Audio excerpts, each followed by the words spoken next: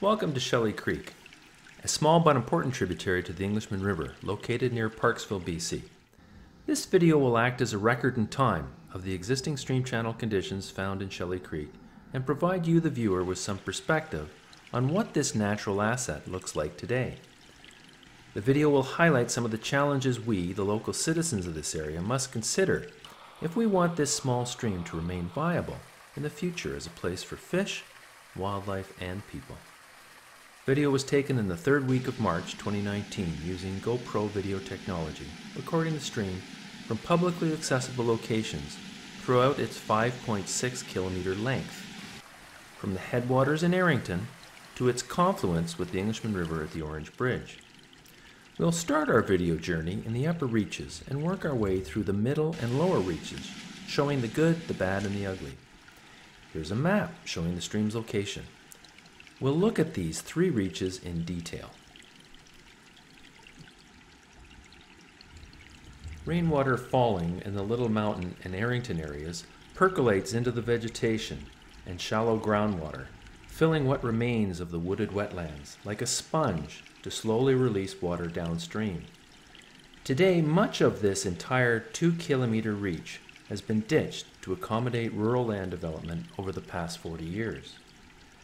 The middle reach is where the creek enters a gully type environment where the stream gradients average 3 to 5%. The surrounding riparian condition is a stable, mature, second growth forest. However, upon closer inspection of the stream channel, we find a very unstable channel. Within this reach, the channel is characterized by signs of erosion along the stream banks.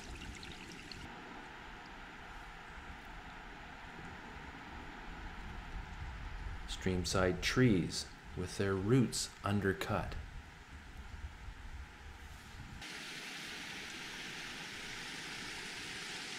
Accumulations of sand and gravel bedload form behind piles of woody debris that choke the channel in several locations.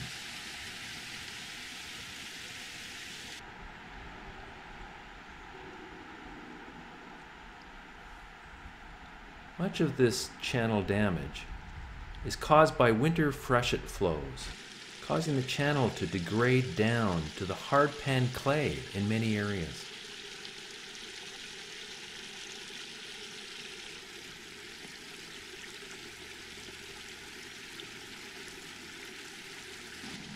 For six months of the year, this reach of the stream actually dries up.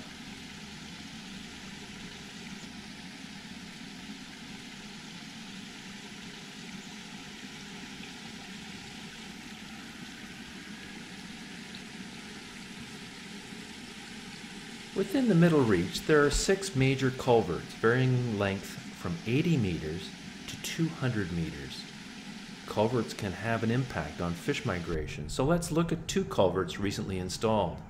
E&N cuts through the middle reach of Shelly, and for years its twin culverts provided trout with access to the upper watershed. No problem. Today there are two culverts that have been installed that have compromised trout migration. This six foot diameter culvert was installed 10 years ago. However, it wasn't installed in a manner that provided easy access. Fish baffles were great for coho, but small 25 centimeter trout have difficulty with this.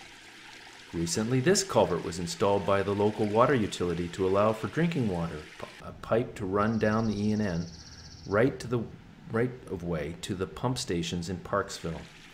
Restoration of pool and riffle habitat after construction has been seriously compromised by sediment and gravel deposition from materials washed off the construction site.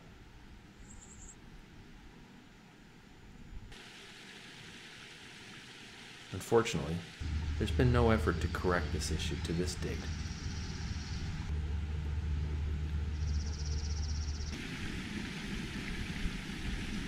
So this middle reach is home to a small population of resident cutthroat trout, kept alive in the summer months by our artesian spring, which provides base flow, just enough water to keep most pools full, but the riffles are dry.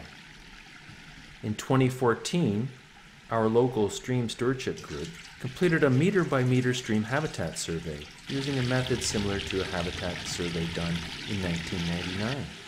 The comparison of our data to the one done 15 years before showed that riparian or streamside vegetation conditions were unchanged, but the stream channel has seen major modifications with increased stream bank erosion, infilling of pools, and channel substrates dominated by sand and mud.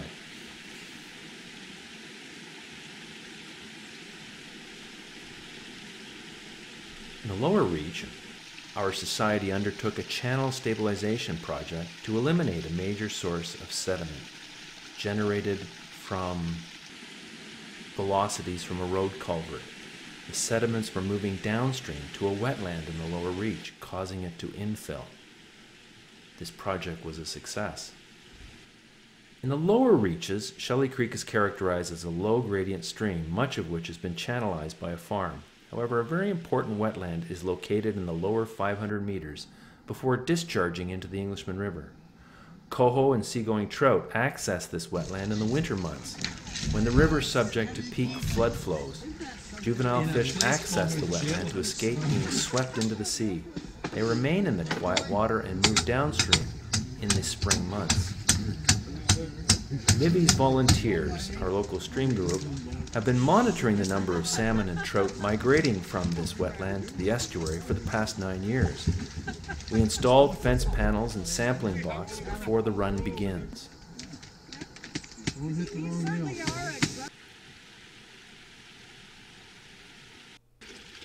The movement of smolts are triggered by spring rains and warming water temperatures. We count fish through the trap every morning monitor the site 24 7. We attempt to capture 100% of the run, but only sample 10% of the fish counted over the trap. Last year, we caught 7,363 smolts at this trap. Although he's actually, I think he's a rainbow. He does have a, he does have an orange line, a very faint orange line going across. Rainbow trout. You can see the little orange line. I think that's a purple. No, it's a rainbow. It's orange too. Oh, right down the side there. Yeah. I think it's nine. Thank you, Nine man. point six. This might be a cutthroat. It's got some coloring right here. Shelly Creek discharges into the main stem of the Englishman River about 200 meters above the Orange Bridge. So you can see it is strategically located to provide off-channel refuge for salmon and steelhead juveniles during winter flood events.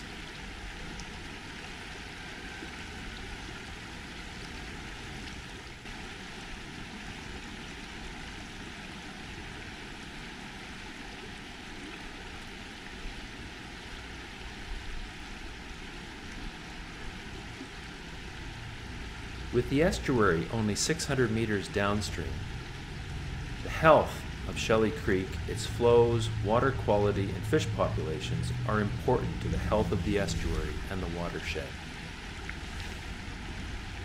That's Shelly Creek today.